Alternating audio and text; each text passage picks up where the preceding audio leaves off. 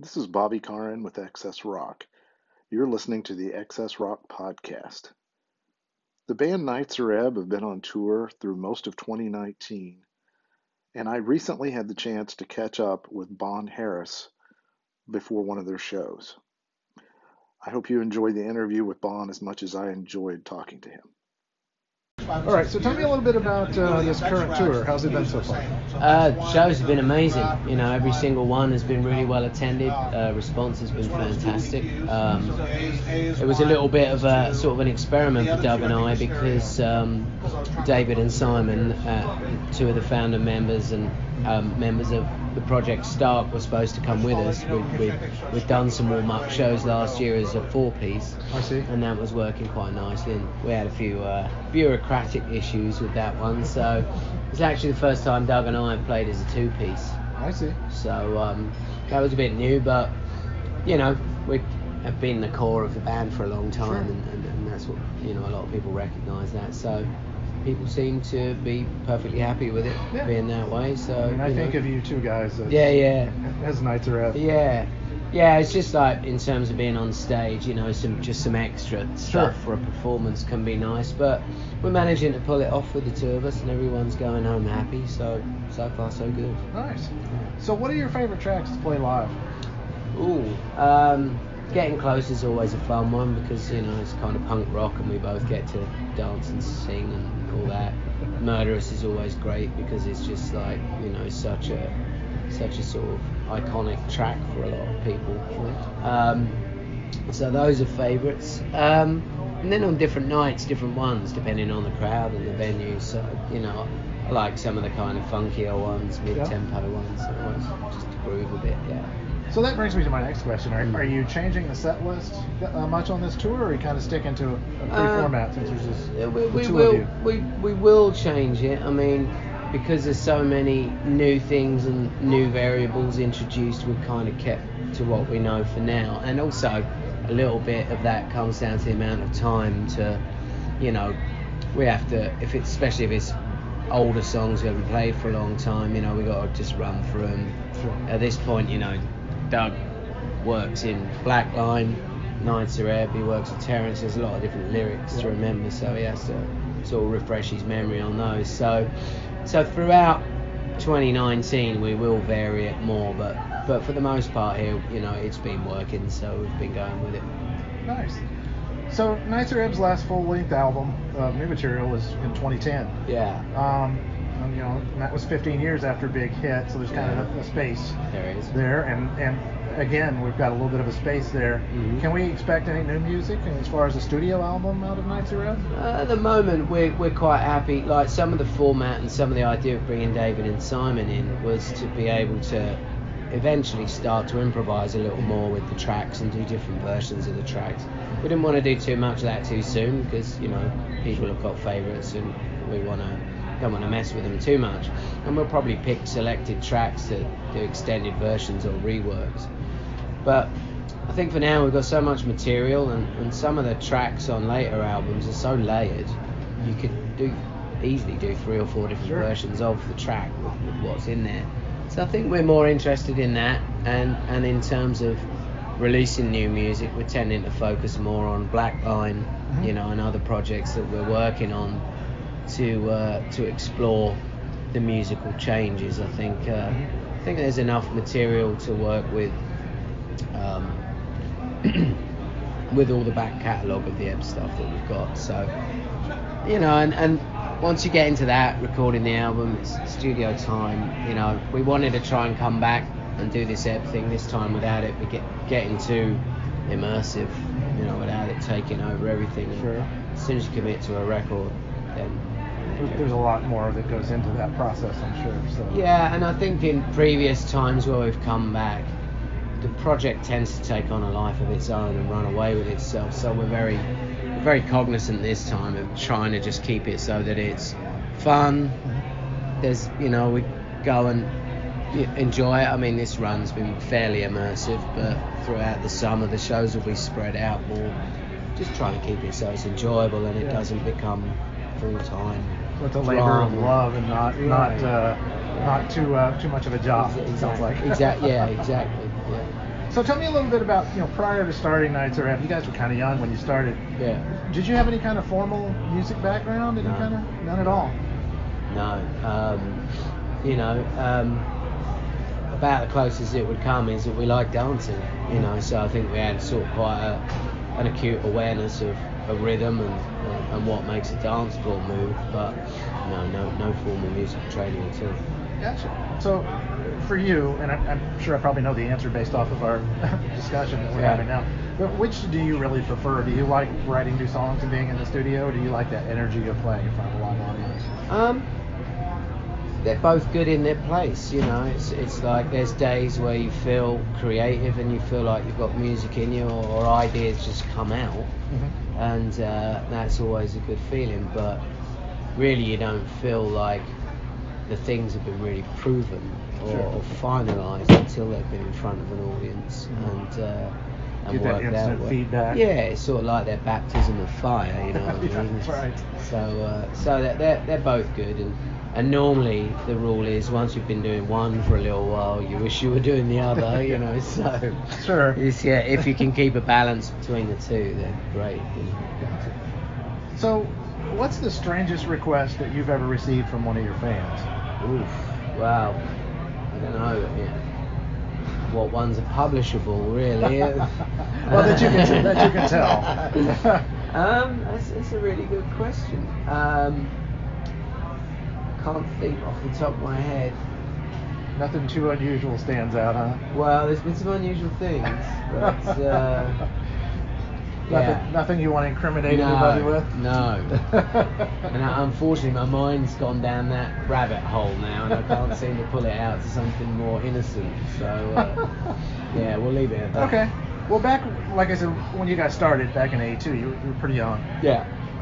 So, were your parents supportive of Oh, your yeah. aspirations to do this? Oh yeah. Yeah. Um, you know, when Doug and I first set our sights on, on getting a synthesizer called the SH101, um, we, we stayed in and saved up a bunch of money, and, and, and Doug's dad actually contributed some money Oh, okay. towards it to help us get going.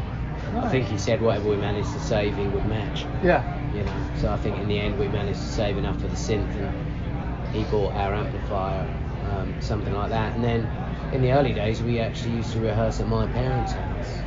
So every Saturday, my parents would take the dog for an extended walk, and we would move all the couches from one end of the living room and just clear that Oh space, set up the drums. And back then, we had pieces of metal that we played, so Sure. it sort of looked a bit like an industrial junkyard, and it was loud, you know. So my neighbours didn't didn't have a good time with it. But every Saturday, they were like, yeah, probably around noon we would set up, you know, Yeah. go out, rehearse till like three.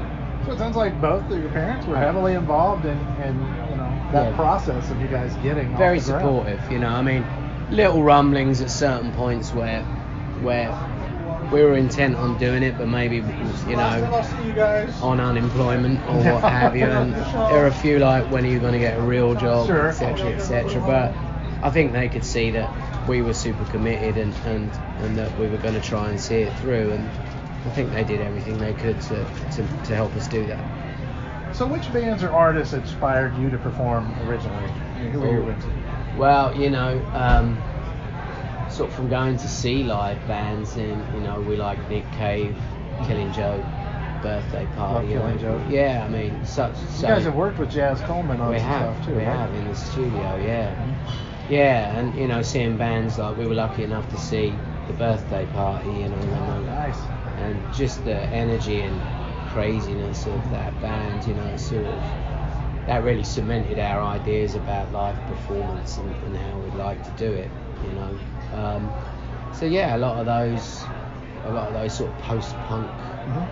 type bands. So what do you think of the, the current music scene that's out there? Um, I think because there's so much music now, um, it's always going to be a mixed review. Sure. So I think you, you know you do see some really outstanding and interesting things coming out, but because of the nature of the market, marketing, commercialization, you get a lot of Me Too music or, or music that uh, you know very sounds very similar across a lot of areas, and I think you're al- also as an older musician, it's brilliant that a younger generation are picking up on some earlier influences. Yeah. But and we, we were guilty of this as well. I mean, like we were big fans of DAF, and we, you know, in the early days, you you don't have much nuance or anything else, so you tend to sound very much like them. So, you know, I'll hear bands that obviously have got a huge Joy Division record collection, and and you sort of like it's great, it is new, but for me, it's so close Sure. to what went before. I don't I don't need it again, but but it's great that if that band finds an audience. So yeah, um, yeah, and just you know how easy it is to make electronic music now. That can lead to some lazy Sure. practices from some people, but you know, for every three or four bands that maybe you don't respond to, you find one that you think's amazing. So you know, I think it's interesting you're talking about the younger fans and stuff. I've got my son, he's next door at the cafe, but Yeah. he's 17, so this is going to be his first oh, awesome, kind of uh, you know electronic, cool. uh, industrial type show. great, yeah. he's he's kind of you know grew up like most kids right now the U.S. that are hip hop fans for Yeah. the most part. Okay. Um, but you know he's been I've been playing him stuff and getting him kind of introduced to it, so Yeah. he's kind of excited to come out tonight Cool. and check this out. Awesome. So Awesome. we got to see some YouTube videos and so forth. Right. Um, gee, I don't know if you can picture this. I know you do a lot of production work, Mm. um, but if you weren't performing in a band, what kind of career do you think you would have? Um, if I got to choose, I would be an animator. I've always been interested in animation, and because I do a lot of the synth stuff and, Yeah. and programming, it's you know like doing synth sounds on a modular synth. You're, you're splitting the sound down into microscopic slices of time, Sure. and you do exactly the same thing with animation. It's like cells. Very, yeah, very, cells. very similar. You know, like you in animation, you look at movement that looks smooth, and you break it down 24 frames a second. You know. Um, so I've always loved that, and lately I've been working on some of my own animation programs Oh, that's cool. um, or animation um, projects. Sorry. Um, writing, always, you know, Doug and I have always been keen readers and writers. Um, and probably in my younger years, I would have said a dancer, but I think the ship may have sailed on that one. Gets a little harder the older you get. I, I do me. what I can on stage, but I I don't think anyone's going to be hiring me these days. so, what do you consider your greatest accomplishment so far? I think making a difference to people's lives when they were in a tough spot or in some difficulty. You know, it seems recently, particularly, I've had quite a few gay people come up to me and say that like they found our music. You know, when they were discovering themselves or coming out, our, our music. Not necessarily, they never found it necessarily ag- aggressive or angry. Mhm. They found it defiant and, and, and, uplifting and uh, that was more what we meant it meant it to be. Very cool. Um, and I think anything like that, where where you maybe have people that feel isolated or marginalised, Mm-hmm. if our music's given them hope and strength, uh, I would consider that to be a great achievement. Very cool. Yeah. Um, so I was going to go back up here. I had a little bit that kind of covers you and Doug both. Yeah. Um, early on, I sort of felt like the, the music and the lyrics both kind of were left open to interpretation. Yes. Uh, kind of the same way visual art is represented sometimes. Yeah. Uh, kind of dependent on the, the independent for the viewer and the listener to decide. Yeah. Um, but later on, it seems like maybe Doug's kind of turned in a little bit more of a storyteller, although it's Mhm. still kind of open. Yeah. So it, it sort of feels like you guys, obviously, you've, the sound has evolved over the albums. Like, you know, Yeah. You still have your unique sound, but it Yeah. definitely has changed. Yeah. Uh, what do you think uh, uh, your image conveys of your music to? If you had to put a visual to it, what, what kind of image do you, do you think it conveys? I think um, I think the storytelling angle is is a good one. You know, it's you know that's something I've always identified with, and again, it goes back to that thing of Doug and I both being interested in writers. You know, so yeah, just like little vignettes of life or little snapshots. You know, normally it's uh, there's a darker side to it, but I also think it's more like um, like an inner dialogue or inner questioning or, or, or self self uh, examination a lot of the time. Yeah, I've had other people say that where, you know, yes, like you said, there's a dark side to it, but then it's also kind of cathartic in a way. Yes. You know, the the music it kind of helps you get in touch with some of those feelings that maybe you have, and and and do it in a way that's you know actually productive. Yeah, and I think in a lot of ways, you know, saying saying what I said about, you know, what would be the greatest achievement of the music, what a lot of it is is kind of fairly honest examining of our failings as well or our doubts or our anxieties Sure. and I think for a lot of people that's like yeah me too you know that's Yeah. that's a way of speaking to people is like yeah we all have these Yeah, I always thought you know I've been a fan since that total age, and Yeah. and yeah, it always kind of spoke to me like that too. And Right. you know, everybody has those feelings, I guess, of isolation or or not sure about things, and you know, trying to make your way through the world. any thinking person does for Yeah, sure that's you know for sure. Not everyone, I guess, but yeah yeah. yeah, you if you're wanna- introspective at all, you do. Yes. Yeah, and if you if you're any, in any way observant or questioning or inquisitive about the world, you're, you're you know, and, and not only that, your place in it. You know, like all of us have sort of aspirations and dreams of, of things that we would like to do and would like to be. And of course, you have all those questions. You know, how am I going to get there? Is it good? Sure. You know, all these. You know, am I going to be able to maintain it if I do get there? Everyone has has these. You know, Yeah. these I always thought that made it very relatable. yeah. You know, because of that, because it's, it's something like you you say, listen to. sometimes in a really weird and abstract way, where it's Yeah. like, I think maybe sometimes people can interpret it how they want to Sure. and apply it how they want to, like say, like a good piece of art. Um, but yeah, but later on, then obviously much more personal and direct. But but yeah, I think uh, yeah, just honesty, really, just bearing our souls. So for anybody that doesn't know you personally, what would they be surprised to know about you?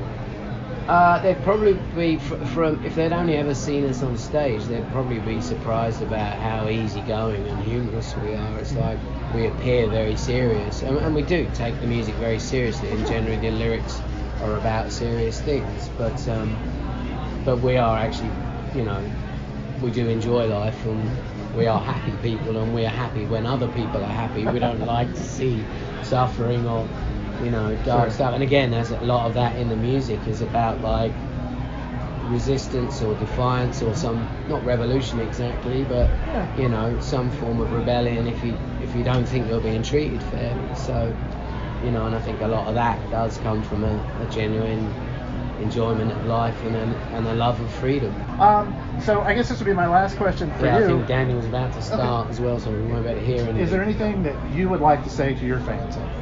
mainly thanks for all the amazing support. I mean, for us to be able to come back, you know, we've been doing this 35 years now, Absolutely. you know, playing shows, and to have such long gaps between them and still have people keen and you know the amount of energy and love really that that we get at each of these shows is amazing. So you know, my main my main feeling thing I'd like to say is thanks and, Yeah. and express my gratitude for the support. Visit us at xsrock.com for all the latest rock, hard rock, and metal news.